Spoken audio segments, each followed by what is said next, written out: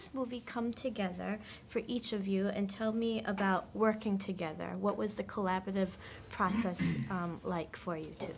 Uh, well, it started with the script, and uh, I was sent the script. Uh, Lynette Howell had sent it over to me, the producer, and I just found it to be a really compelling piece of material that I, I just, I just, it just grabbed me and was a page turner. And um, so once I, I, uh, I met with Lynette and we decided to make the movie together, um, I got, I sent the, through our agents, I, I sent the script to Ben, who was doing Batman at the time, and uh, he read it over the weekend, and then he and I spoke that next week, and we, you know, we quickly realized that we had a similar uh, aesthetic and and and also a, a take on the movie that we were aligned with, that we wanted to, you know, we were gravitating toward the, the same themes and what we wanted to call out of it, and and um, and we decided to partner on, on the movie and, and, and go on the journey, which started when, when Ben finished finished Batman.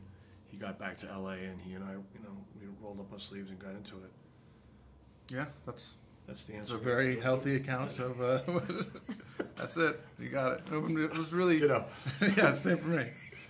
I mean, it was really uh, uh, exciting to, to, to get a, a script that is original and fun and surprises you, and and uh, that I didn't see the end coming, and you know, and I hadn't seen that character before, and I had wanted to work with Gavin anyway because I was a fan of his movies already, and he was somebody who I was an admirer of, and you know, had on my list of like I want to work with this guy, and um, so the two came together. It was perfect. So, how complex and difficult is it to create a character that's neither good nor bad?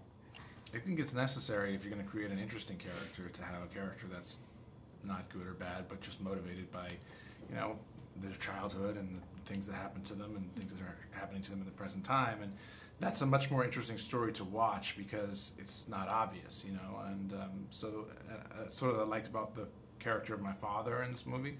That he's like not a villain necessarily, or, or or is he a good parent? It's just what he did and choices he made, and then I'm left with paying for the choices that he made, you know, in my adult life as as we are.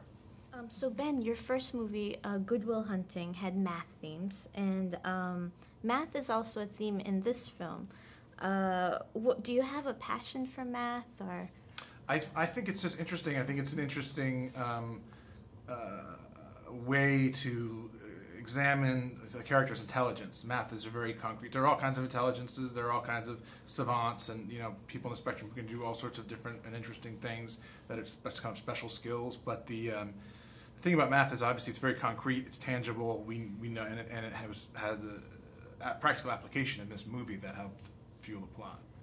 How did you prepare and get into the skin of this man? Um, any real encounters with the underworld, or did you work with any agents? I didn't research any bad guys. I just researched uh, autism. I, I figured I already knew what people like. people were ripping off money. I could imagine pretty easily what their motivation was. Uh, but um, I did a lot of research with people on the spectrum and teachers and watching movies and looking at documentaries and you know with Gavin, you know, we, we dove in and tried to make sure that we were going to do something realistic and honest. What was, what was this movie about for you? Well, it's about a lot of things. I mean, the, the, the, the thing I always hung on to was that it was about a father who wouldn't let the world set expectations on his son. And then it just sort of, you know, it sort of bloomed from there. Uh, you know, I think it's, it's, it's a movie about human connection. It's a, it's a movie about, um, it's, a, it's uh, uh, about, It's a movie about being different and not Yeah. being a good thing, you know, the celebrating difference. yeah, diversity and difference. So, if you could have a special gift like Chris, um, with he has special gift with math and numbers, what would your special gift be?